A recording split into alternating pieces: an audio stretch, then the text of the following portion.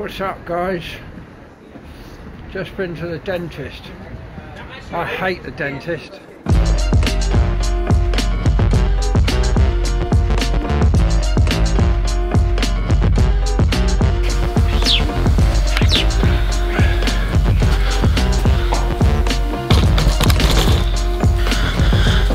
What's up guys? Uh, I've just come out of the dentist.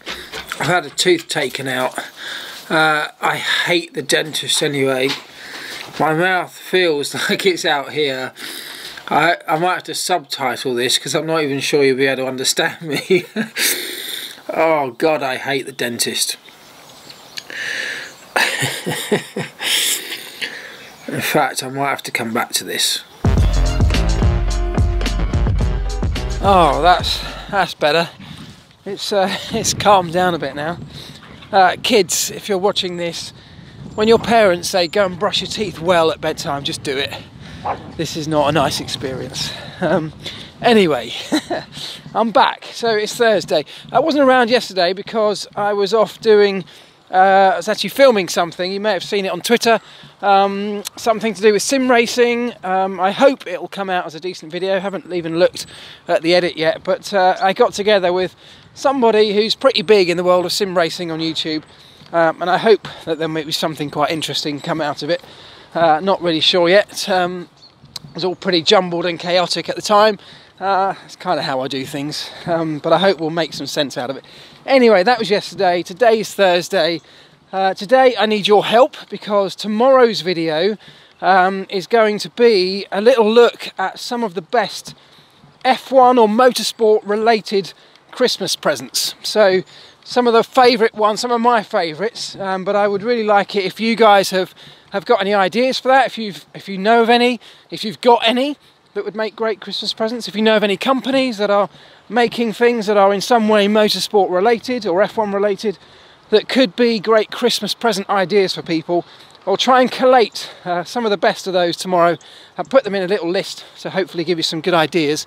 If you're struggling for people, uh, or if you want to give some other people some ideas that might be good for you. Um, so give us a shout, drop me a comment, uh, and we'll get, get those together hopefully for tomorrow's video. Um, right, today, what we're looking at today. Um, some news came out yesterday, of course. The, um, the World Council met and ratified uh, the calendar and various rule changes uh, for the 2019 seasons, and of course, part of that included Formula One. So, the calendar, no surprises, we knew what that was going to be. Um, it's another big one, another 21 race calendar, uh, another stretch for the teams. Um, and make no mistake, this is going to end up as a 24 or 25 race calendar uh, in the not too distant future. Uh, I'll be quite amazed if for 2020 and certainly for 2021 we're not increasing that number by at least one or two. Um, so it's not going to go back down again, uh, unfortunately, for those who want it. And I'd also be quite interested to know what you think of that. Because as race fans, do you just want more and more and more? Are more races great? You know, the more the better. Um, or would you like to keep the sort of um, the exclusivity of it? The um, you know, let's not oversaturate the market. I mean, obviously, for those people working in the sport, it does become pretty tricky, and for the teams, getting to 25 races undoubtedly means a complete change in the model of the way that they they operate uh, and do things with with extra teams, extra headcount. So there are big changes coming uh, for the world of Formula One. But what do you think of it?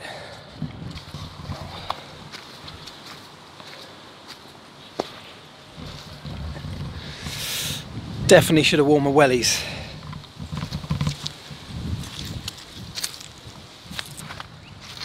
Oh God.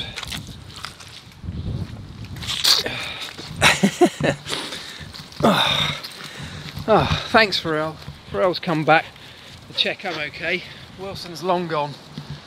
Um, right, other changes uh, for the tech and sporting regs were there's a slight increase in the uh, minimum weight of the car. Uh, so that's gone up by just three kilos, and that kind of came uh, from the teams who were pushing to increase that slightly, uh, actually because they were struggling to meet um, the uh, the 740 kilo weight limit that was originally set. But these cars are now heavy. You know what I mean? This a few years ago, these cars were a lot, a lot lighter than that, 100 kilos lighter than that. Um, this is a big, heavy, bulky Formula One car. And I know it's got decent power uh, to match, but it does feel like a Formula One car should be really, really light and, and nimble. I know the Halo's made a big difference to that. The, the, uh, the hybrid power units with the energy store and, and, those kind of things all make a big difference. So I guess that's modern Formula One, but seems like a bit of an animal to me.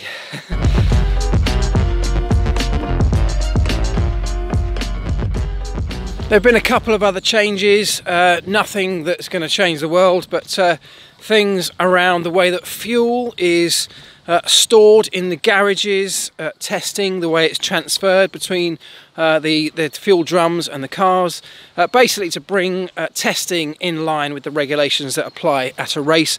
Those are all regulations that came in following that Williams garage fire, if you remember. Um, we've had a couple of changes around the way that uh, yellow flags are issued under the safety car, nothing that's going to make too much difference uh, to you or I. Uh, grid penalties will be applied slightly differently uh, just to basically stop that ridiculous situation where teams were trying to get out as early as possible on a Friday to make sure that they were the first ones out on track, uh, queuing up at the end of pit lane because the, the way that grid penalties were applied was kind of based on that situation, the first one to run on the race weekend. Uh, so that's now changed uh, and will also help force people to go out in qualifying if they've got grid penalties. So probably another sensible change, I would say. Other than that, nothing that's too surprising, uh, nothing we didn't really know about. We talked on Monday, didn't we? I think it was a question in Ask Elvis uh, about performance ballast or success ballast. Uh, well, interestingly, out of that same World Council meeting yesterday came uh, the decision that WEC, uh, World Endurance Championship, have introduced a success ballast system for next season. Um, and it's going to be quite an interesting one to watch. Um, the way that it can work, the way that it works is based on your performance or your results in the last, the previous two races, and also your performance or your standing within the championship. Um, and there are various penalties applied from sort of 15 kilos for uh, the championship leader, 10 kilos for second, and so on and so on. Uh, it means that if you are leading the championship and have a, a race win, for example, um, you could end up with a substantial chunk of ballast on your car for the next event, uh, 45 or 50 kilos, I think it is. It's going to be really interesting to see how the teams manage that. It's going to be quite an interesting test case, I think. Um, when it came up on, on my video on Monday, it was quite a controversial subject. Lots and lots of, of comments in the comments to that video talking about whether it being a good or bad idea. Uh, and I think having it in WEC will be a nice way to, to kind of watch how it works, how the teams deal with it. Will they come up with clever sporting ways to try and circumnavigate the rule somehow, to try and minimise that penalty? Uh, I hope it doesn't detract from the racing. I hope it does what it's intended to do and helps to close up the field and the performance of all cars. Because if it does exactly that, well then maybe it is something worth considering for the future of Formula One.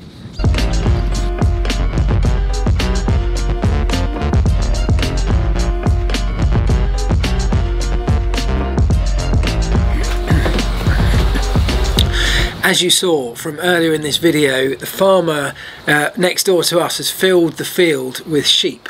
And this morning was the very first time ever that Pharrell had ever come into contact with a sheep. I'm not sure who was most shocked, either the sheep who scarpered right across the other side of the field or Pharrell who'd kind of suddenly come into contact, been, been confronted with about 150, 200 little balls of, of wool. It was hilarious. I wish I'd had my camera ready at that moment. Um, anyway, let's finish this video off with talking about the Halo.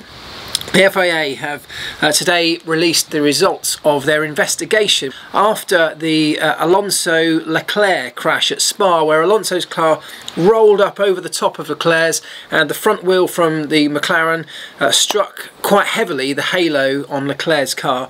Um, the uh, the resulting uh, investigation has concluded that whilst that front wheel that hit the halo would never have hit Leclerc's head anyway, you know Alonso's car was deflected by that contact with the halo, and what it did prevent potentially was the front wing end plate of Alonso's car from striking the visor of Leclerc's crash helmet. So from that little tiny one piece of information, just the fact that there's a very high chance that one car could have made contact with another driver's crash helmet, and yet the the the, halo prevented that from happening with a, a, very high probability prevented that from happening. You've got to say the halo has done uh, you know done its job. It's done an incredible job. That is exactly what it was there for.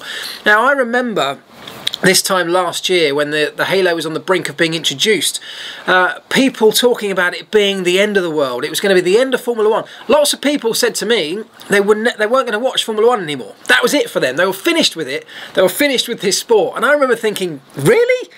That is enough for you to turn you off a sport that you've been watching for years, you're supposedly a fan of, and yet just because we've got this, yes, it's a pretty ugly device bolted onto the top of all cars now, that's enough for you to never watch again.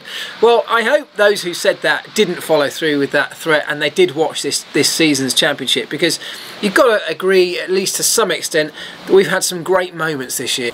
I think the Halo was pretty much forgotten about not long actually not long after pre-season testing there was so much else to talk about wasn't there with the uh, Hamilton Vettel uh, challenges with each other the closeness of the racing that the Halo didn't even get mentioned? I think that's testament to the fact how, of how good this championship was. Um, I'd love to know your thoughts. Um, but anyway from my, my perspective I think it's justified its uh, inclusion in, in modern Formula 1 and in Formula 2. There were some accidents there where it really played a part too. Right, that's it for today. I need your help on this video, so please do hit me up in the comments. I need your suggestions for Christmas presents, please. That would be great. That video hopefully will come at you tomorrow. Uh, I'd love to know your thoughts on the Halo. I'd love to know your thoughts on what else did we discuss in this video. Uh, what else did we discuss in this video? Can't remember. Uh, let me know what you think of the Halo. What are your thoughts? Having had a whole season of it now in Formula One, good, bad or ugly? or somewhere in between. Uh, right, have a good evening. I will talk to you tomorrow. Out.